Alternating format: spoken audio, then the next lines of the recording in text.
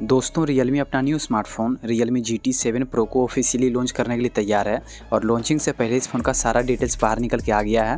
इस वीडियो में बात करेंगे कि फ़ोन के बॉक्स में क्या क्या चाहिए रहेगा फ़ोन डिज़ाइन और बिल्ड क्वालिटी में कैसा होगा और इस फ़ोन में क्या क्या चाहिए मिलेगा। सारा कन्फर्म डिटेल्स आपको बताएँगे, जो लीक होकर आया है और बताएँगे कि ये फ़ोन कितने प्राइस पर लॉन्च होगा। तो चलिए इस वीडियो को शुरू करते हैं और सब कुछ बताते हैं आपको पूरे डिटेल्स में।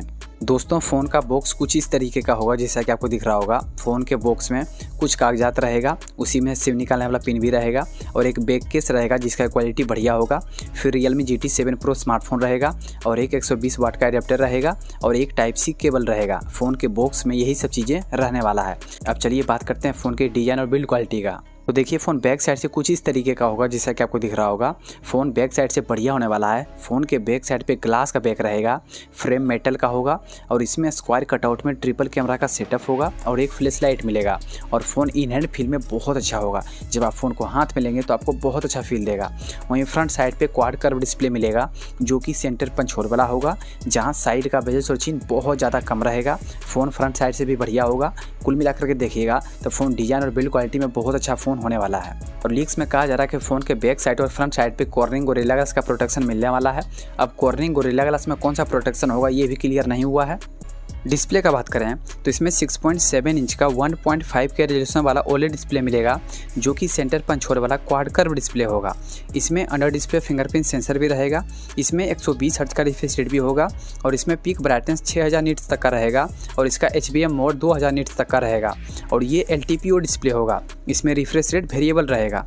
और इसमें H D R ten plus और डॉल्बी विजन का भी सपोर्ट मिलने वाला है। देखिए फ़ोन डिस्प्ले में बहुत अच्छा होने वाला है। और जब आप फ़ोन को चलाएँगे तो फ़ोन चलाने में आपको बहुत ज़्यादा बढ़िया लगेगा।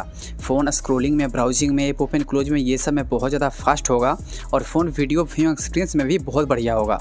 जब आप इसमें कोई भी हाई क्वालिटी का वीडियो प्ले करेंगे, या कोई फोर वीडियो प्ले करेंगे, या कोई आर वीडियो प्ले करेंगे, या कोई हाई रेजोशन वाला मूवी देखेंगे तो आपको व्यू एक्सपीरियंस बहुत अच्छा मिलेगा।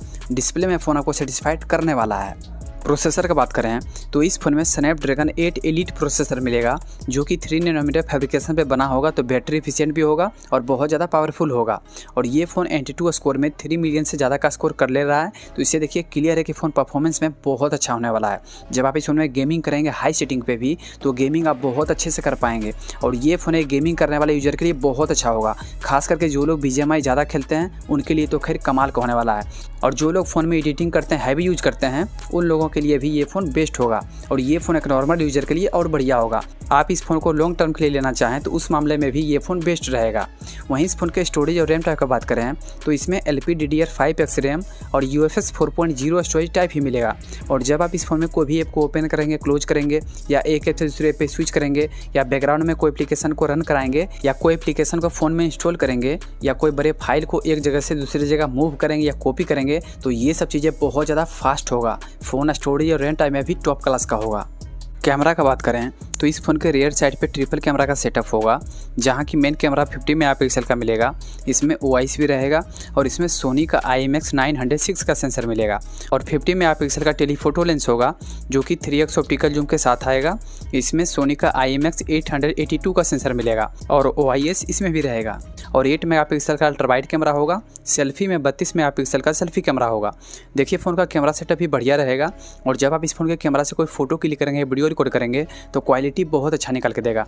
कलर को भी अच्छे से बैलेंस रखेगा, डिटेलिंग को भी मेंटेन करेगा, डायनेमिक रेंज में भी बढ़िया होगा, पोर्ट्रेट शॉट्स भी बहुत अच्छा निकाल के देगा, जूमिंग में भी बढ़िया होगा, सेल्फी फ़ोटो भी अच्छा आएगा, वीडियो रिकॉर्डिंग में भी बेस्ट रहेगा और जो लोग रियलमी का एक अच्छा कैमरा वाला फ़ोन का तलाश कर रहे हैं, उनके लिए ये फ़ोन बहुत अच्छा हो सकता है। बैटरी का बात करें तो इस फ़ोन में 6500 mAh का बैटरी मिलेगा, जहाँ 120 वाट का फास्ट चार्ज का सपोर्ट भी रहेगा। तो फ़ोन बैटरी में भी बेस्ट होगा और फास्ट चार्ज के सपोर्ट में भी बहुत अच्छा होगा। और इसमें डुअल स्टीरियो स्पीकर भी मिलेगा तो फ़ोन मल्टीमीडिया एक्सपीरियंस में भी बहुत बढ़िया होगा।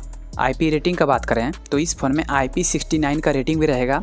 तो फ़ोन आईपी रेटिंग में भी बेस्ट होगा और फ़ोन बारिश और डस्ट को बहुत अच्छे से झलने वाला है। और दोस्तों, ये phone out of the box Android 15 के साथ आएगा और ये रियलमी यू आई सिक्स पे रन करेगा। और ये फ़ोन जब इंडिया मार्केट में आएगा तो इसमें चार साल का मेजर अपडेट और पाँच साल का सिक्योरिटी अपडेट मिलने वाला है। दोस्तों, यही सब पूरा डिटेल्स था ये Realme G T seven pro से रिलेटेड जो कि इस वीडियो में आपको बताए हैं। यही सब डिटेल्स के साथ ये फ़ोन पहले चाइना में लॉन्च होगा। ये फ़ोन चाइना में चार नवंबर को लॉन्च होने वाला है। उसके बाद ये फ़ोन इंडियन मार्केट में पंद्रह नवंबर के आसपास लॉन्च होने वाला है। वहीं इस फ़ोन के प्राइस का बात करें तो दोस्तों, ये फ़ोन इंडियन मार्केट में पचपन हज़ार के प्राइस पर लॉन्च होने वाला है। लीक्स में कहा जा रहा है कि इस फ़ोन के बेस वेरियंट का प्राइस पचपन हज़ार के आसपास ही रहेगा। तो इस फ़ोन को लेके आप सीरियस इस फ़ोन को लेना चाहते हैं तो आप मिनिमम पचपन हज़ार का टारगेट लेके चलिए। वैसे दोस्तों इस वीडियो में इतना ही। जो अपडेट आया था Realme G T seven pro से रिलेटेड वो सारा डिटेल्स आपको बता दिए वैसे thank you so much for watching this video